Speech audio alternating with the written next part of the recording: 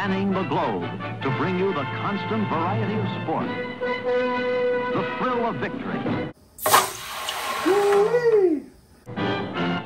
and the agony of defeat. Oh my gosh. Jeez, oh Pete, what have I done?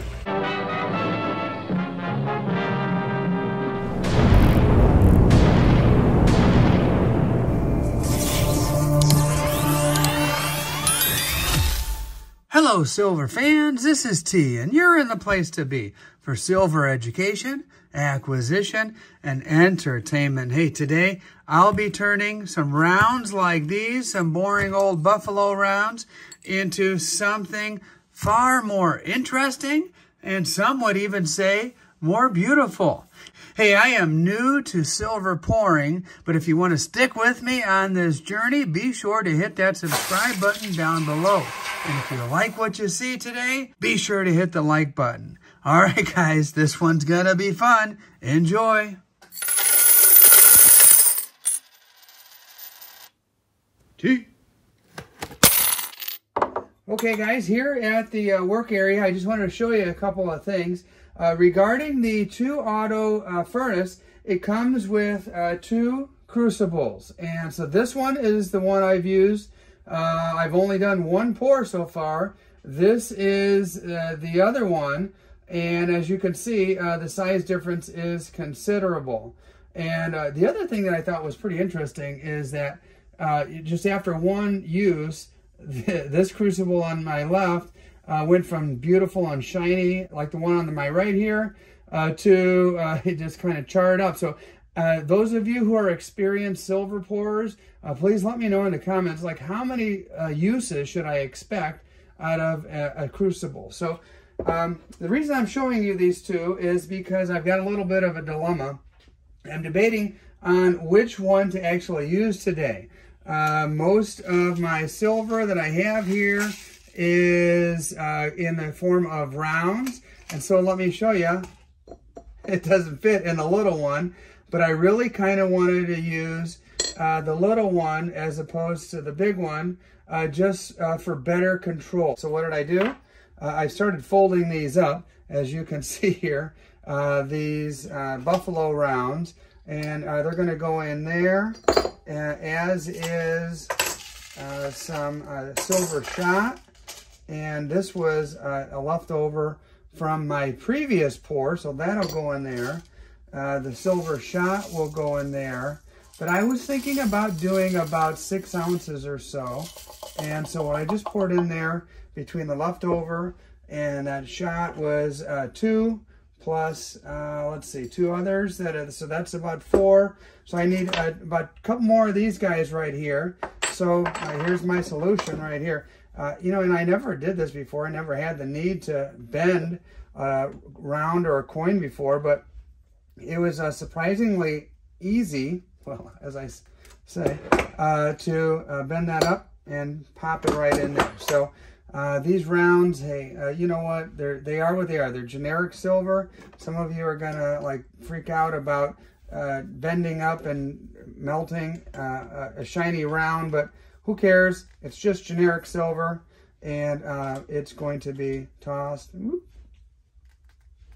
There we go. Right in there. All right, there's my six ounces or so. One, two, three, four, five. I've got five left over for future melts, and uh, we'll see what I can do with these six ounces. I'm showing you this uh, step by step throughout the process. Uh, I hope you enjoy as, uh, you know, especially you new uh, folks out there who are into silver pouring for the first time, uh, like myself. I'll show you what I'm doing, how I'm doing it, why I'm doing it. And uh, by all means, anybody out there who has more experience, uh, please uh, let me know in the comments uh, because I want to get better. That's the whole goal, and I'm not going to get better unless you guys help me out. So, hey, thanks, guys. On to the next step. Okay, guys, hey, next step is to fire this baby up. And if I remember correctly, I need to set it to 1090. Oh, it's already there. 1095 Celsius. Set it and forget it. Set it and forget it. Actually, what I'm going to do is uh, keep checking on it. And before I go any further, uh, let me go ahead and put this crucible with this metal in it right now and put this on the top and be good to go. But I'll be checking on it periodically and keeping a close eye on it. All right, guys, until the next step. Okay, let's see what we got here. 978. And let's see what she looks like inside there. Oh, baby. Look at that. Silver melts at 961 Celsius. So, hey, it's uh, starting to melt there. Okay, here is the first mold that I'm going to use. And in all honesty, I really don't know how, many ounces of silver this mold is going to take. I just get, by looking at it, kind of guessing, I would think maybe about three. But either way, I know I do need to uh, warm up this mold because it's probably about 37, 38 degrees from sitting here in my garage, pouring silver that is uh, uh, about 2,000 degrees Fahrenheit straight into this cold mold. Uh, I don't think the outcome would be good. I don't think the result would be good. And everything that I see on uh, the other pourers online on um, YouTube say that you should warm that up. Now, I'm using what I had laying around in the garage. And gosh, I don't even remember the last time I soldered anything. But either way, I will uh, most likely upgrade to uh, MAPP gas sometime in the near future. We go. Let me get that positioned here.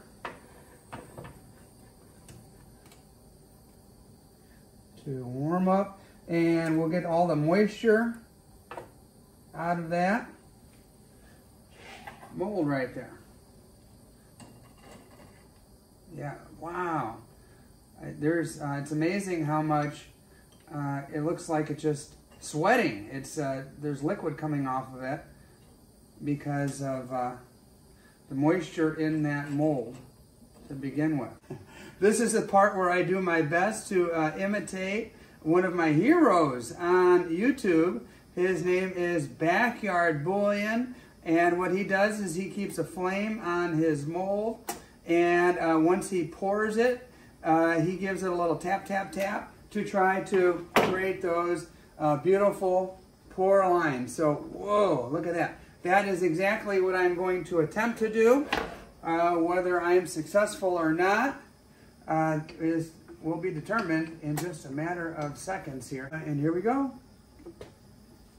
Whoa. You can feel the heat from here. Yeah. First time using a mold. Let's see. Wow. Be careful with that. All right, let me put it back. And boy, did I have some oversplash there, that's for sure. I honestly, I think this one's going to be uh, a success and a failure all in one because uh, as you can see there, I've got some beautiful pour lines, Maybe you should put the but I didn't hit the whole mold. the flame on So- the board. excuse me? The flame on the board. On the board. On the thing is gonna be okay. Yeah, honey, it's cement. It's not going to hurt anything. So, here we go. Um, came out really nice, uh, except for un an under pour. Let me try to pick it up.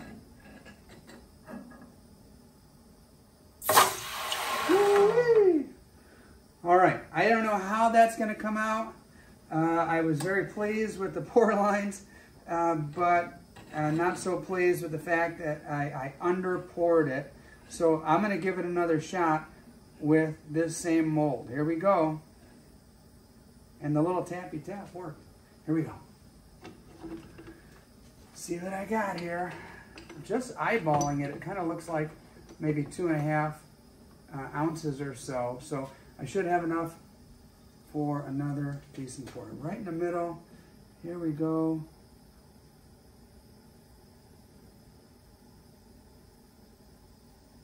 Oh no, that was pitiful. All right. That was absolutely pitiful. But I've got a remedy. We are going to take that out. Yeah. So this took up way more than uh, three ounces, that's for sure. I'm going to take this, punch it, and then put it back in there and try to make something else. It should be cool by now. No. Yeah, it's cool. My goodness. Is it gonna fit in No, there? don't put it in without the Okay. thing. Put your gloves back on. Let me try something. Oh my goodness, don't put it in like that. No, it's too hard. Yeah, I don't think so. Darn. It's not gonna go in. You have to crack it. Yeah. Because that won't fit in there. No, no. There's no way. Mm-mm. Okay, I just tossed a couple of silver rounds. This is the piece that was the uh, the uh, misfire here. It didn't work, and let's toss that back in the old oven, in the old furnace, and we'll give it a little bit of time. Okay, guys, here we go. Attempt number two, and um, this will be an attempt at my very first ever silver bar. So that's been in there for a while. Hopefully, let me take a quick little peek. Oh yeah, got that scrap silver. Got a couple more rounds. This particular, well, I'll tell you in a minute. Here, let me just try to pour this. Here we go.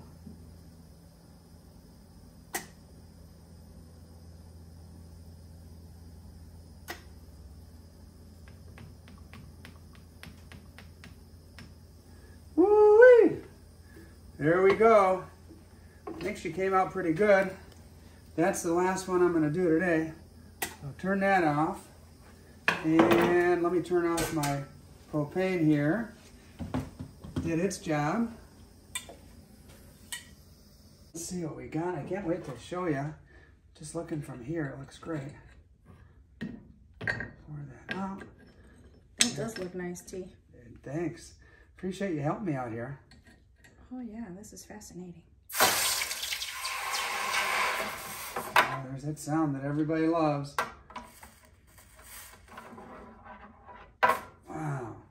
It should be about three ounces plus. I, I bought this mold because it said five ounces, but I, what I didn't realize is when I, you read the fine print, it was five ounces gold. That's less troy ounces than silver. So I'm really curious as to what this actually weighs. And Oh yeah, she's cooled down. Let me show you these little pour lines. Tell me what you think. I'm no backyard really boy, in, but cool. I am. Uh, Super I'm cool, trying. T. Super cool. Can't wait to go clean her up and uh, see what I can do with it. The back looks pretty good too. Look at that. Wow. You Not still bad. have a little bit of heat coming from it. All right, guys. I'm gonna go clean her up and see what else we can do. Nice job, T. Thanks, honey. Okay, now for the less glamorous part of the job. Uh, let me take a look here and uh, show you what I got. Uh, as you can see, it's the bee and the honeycomb. Little overpour there, a little overpour there. Uh, the good news is it's kind of thin. Look. So I guess my question is, should I try to clip that off with these new little clippers that I bought and then file it all the way down or hacksaw it or what? Um, I don't know. Let me, I'll think about that, but I want to show you the backside. Hey, take a look at these pour lines. I was uh, pretty impressed uh, that they uh, came out the way they did. And just with a little tap of the crucible on the mold as I was uh, pouring, I think that propane had uh, made a big difference. And uh, anyway, I'm going to clean this off and then weigh it. And then there's one more step after that. It really is amazing how many little tools and gadgets and things you can actually purchase as you're getting into a new hobby like this. So let's see. Will that do it? Whoa. They work pretty well. Gonna definitely have some sharp edges there. And but I've got an idea for that too. Every one of these little pieces of silver, see that? Uh, let's put that in this little jar. And those will go in the furnace next time. So let me get this. definitely need advice.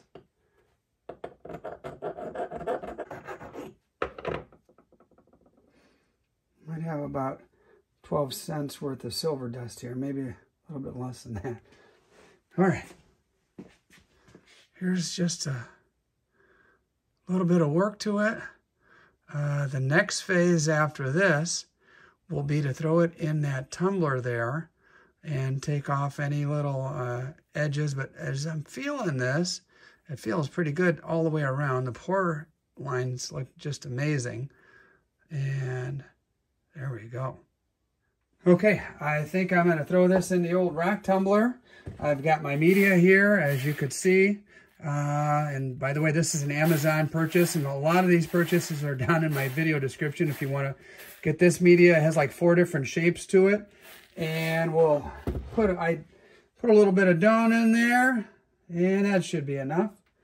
And let's see, yeah, this is about 250, not even, just, uh, and then this guy right here, just to clean it up for a good measure.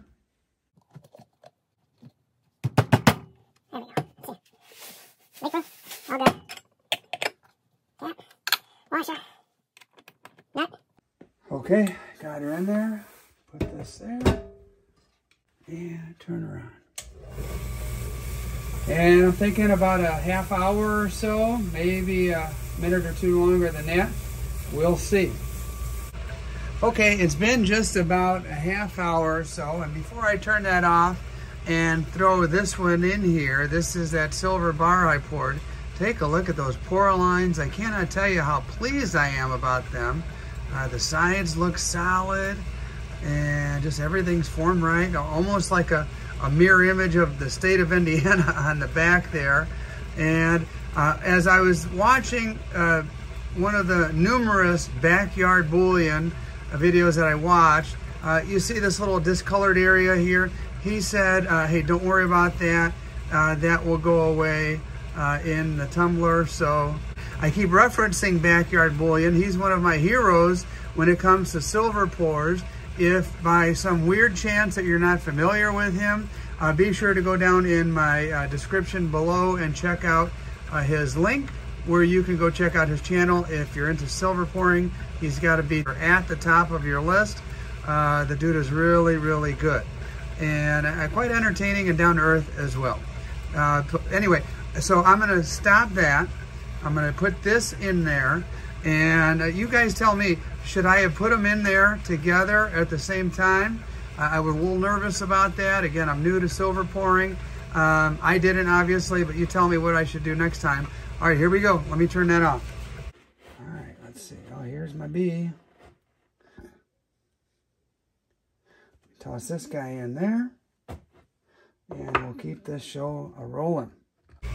See what we got here, guys. There she is looking nice and shiny. And so I am very curious as to what this little bee weighs. So let's go check it out. Uh, I didn't have to borrow my neighbor's food scale. You know, all this stuff is from Amazon. Basically everything you see here, including these little clippers. Again, links are down below. I have a little affiliate code. You don't pay a penny more and I get, I don't know, two cents if you buy something on there. I, I, so far, no one's used it, so I really don't know how much you get. All right, uh, it's on OZT, ounces Troy. Uh, here we go. 3.66. So I am going to not round up. I'm going to call that uh, 3.6 ounces Troy. And that was a little bit more than I was expecting uh, when I poured. I thought it might be about a two uh, and a half or a three. And but anyway, learning experience. Here we go. Now comes the fun part of stamping. I bought a stamp. It's a little bee stamp. If you can see that. There it is. Last time someone asked if I was using my wife's hammer, so I'm going to use a hammer that's a little heavier and try to get it in one nice uh, strike.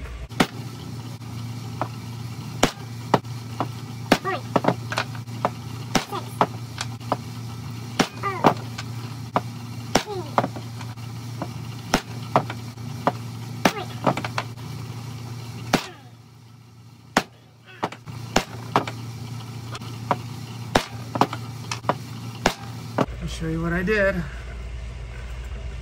little B there.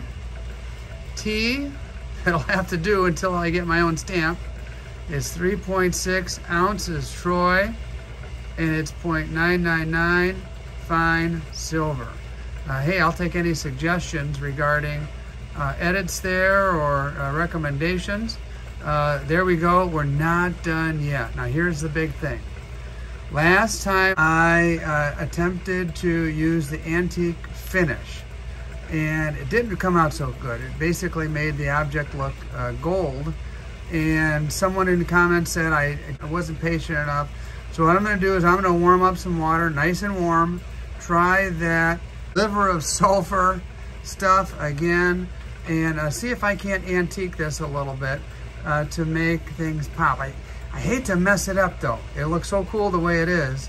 Um, I don't know, might be making a big mistake here, but I wanna give it another shot and see if I can get these letters to pop and some of these details. So what the heck, uh, again, first pours, this is all a big learning experience.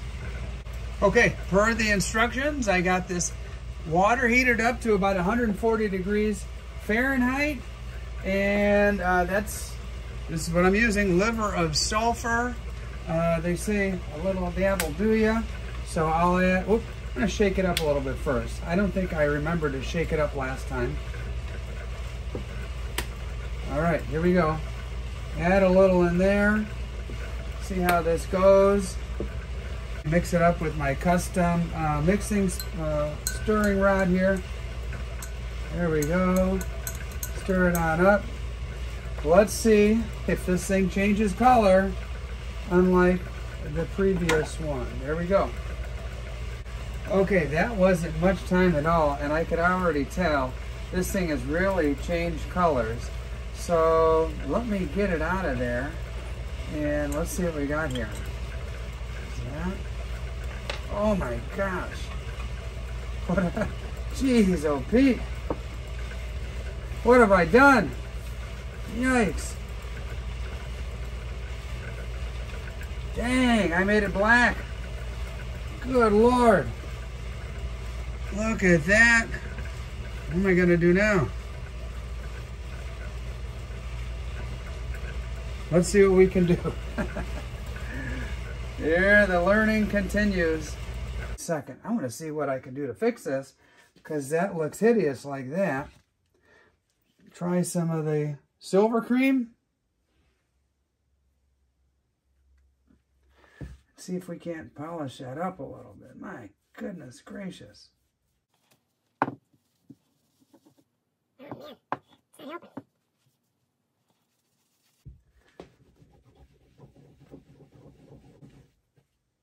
Oh, wait a minute. I'm starting to see a little bit of silver poke through. It's going to take a lot of elbow grease.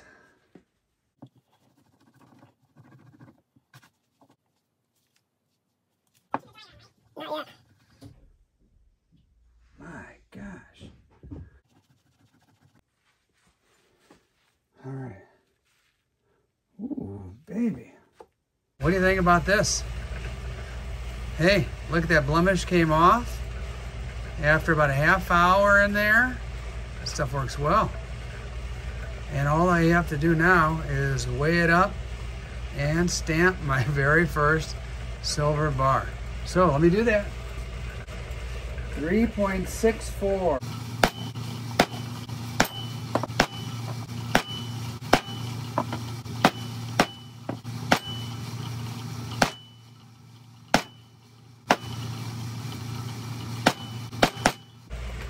Okay, I did contemplate the idea of putting a T in the middle there, but I think I'm gonna hold off on that. I really do wanna get my own stamp. Here it is, T, 3.6, ounces Troy, 0.999, fine silver. I think I'm done with this, and this one's done. My very first bar, completely done. And what I need to do now is uh, figure out what to do with that other, that bumblebee piece. And uh, I, I'm tell you what, I'm pretty pleased with this one. Tell me what you think in the comments.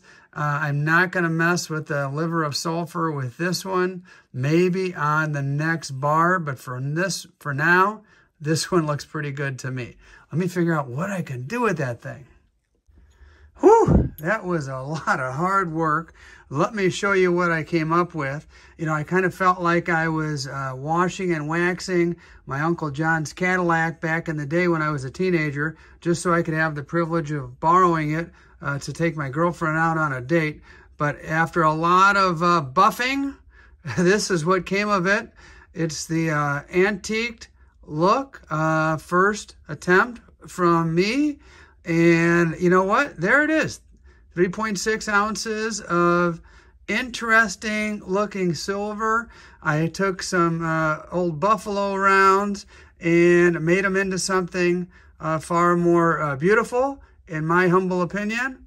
Uh, but what's your opinion? Let me know how you think I did. And it was a pleasure, uh, especially having Mrs. T help me with the pour. And, uh, you know, nice way to spend a Sunday afternoon. And I would be uh, remiss if I didn't show you that bar. Uh, what a weird uh, coincidence that they both turned out to be 3.6 ounces of silver. So on the left, you've got the antique look. On the right, you've got the shiny look that I think I'm just going to keep that shiny look the way it is.